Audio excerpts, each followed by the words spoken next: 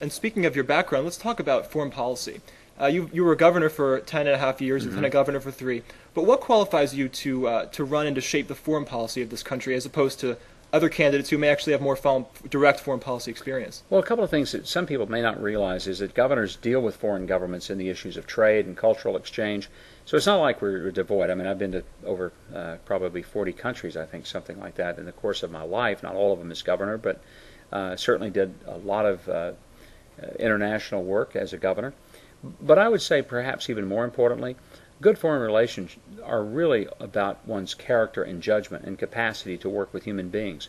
You know, Ronald Reagan uh, became president, and a lot of the criticism was he's been an actor. He's been a governor of California for eight years, and that's been you know a long time ago. He, he'd been out of office as a mm, governor right. for what, ten years, I guess.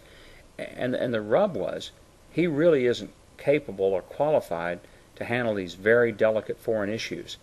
Yet 10 years after he was sworn in as president, there wasn't a Soviet Union, the Berlin Wall was down, and the Cold War was over. I think he did a pretty good job. So uh, that's where I would say that it's more about a person's capacity for uh, decision making and judgment than anything. All right, and now let's talk about healthcare. You've got a great personal story, uh, probably one of the best personal stories I've ever seen of a, of a politician uh, with the personal struggle with your own health, and you overcame that. Um, why don't you talk a little bit about that, just briefly, so people know what that is, but also extending that out. How do you take that personal experience and create a better healthcare system for all Americans? Well, five years ago, my doctor told me if I didn't change a lifestyle that I was living, which was overeating, under exercising, uh, that I would uh, be entering the last decade of my life, and that really got my attention. I decided I didn't want that as my exit strategy, so I made some serious lifestyle changes, gave up fried foods and sugary things, and instead began to exercise and eat good, wholesome, whole foods. Um, over the course of about a year, a little more, I lost 110 pounds.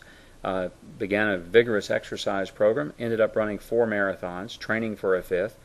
Um, I, I, came also to realize that my own personal experience was really similar to that of millions of Americans who were indulging themselves in bad health habits. And the result was not only that they didn't look good and feel good, the real problem was the cost is just staggering. So now we have a healthcare system in this country where 80% of all of our healthcare expenditures are spent on chronic disease, and we simply can't sustain it. And so, what would you do as president to uh, to make that sustainable? I'd lead this country to a change of culture from a disease culture to a health culture. It's not really going to be able to be sustainable until we start focusing on wellness and prevention. Personal responsibility, those are really important Republican principles. But personal empowerment to engage in personal responsibility with incentives. If I live healthier, give me the incentives, less uh, cost on my insurance, um, uh, benefits, and, and uh, financial incentives so that I'm making choices that are going to cost the government and going to cost my employer a lot less money. All right, let's see if I have any other questions. Oh, okay. So last night in the debate, you had a great one-liner about you're from Hope, Arkansas. Yeah. Uh, give us another chance. But that made me wonder, what do you have any kind of relationship to uh, to the Clinton family? I mean, you, you guys come from the same place, yeah. similar service. Your story, your story, former governor of Arkansas, is very similar to his when he ran for president. You know, I didn't know Bill Clinton as a child because he's nine years older than me, so he had already moved away from Hope. He really didn't grow up there. He grew up in Hot Springs, but he was born in Hope. Uh, his mother and my father were classmates in high school. Uh, you know, I've known members of his family, his extended family, throughout my life. Uh, but I've known him. I always say, you know, I have the distinction of being probably the only person in America whom Bill Clinton has campaigned against every time I ever ran for office.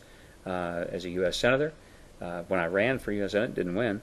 Twice for Lieutenant Governor, twice for Governor. Um, you know, so Bill Clinton has campaigned against me. I also have the distinction I've campaigned against him every time. But we, we have actually had a very cordial and decent relationship. What he did in my elections were proper political obligations he had. I did the same. Uh, but we've never taken it personally. I've had a, frankly, a very positive relationship with him.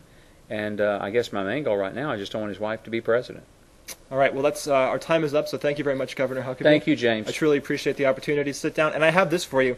This is a this is a pencil puppet ah. that I made of you. I make I make videos about all the candidates, and this is yes. the one I hold up when I talk about you. So I want you to have it oh, as a as a as a memento of this interview.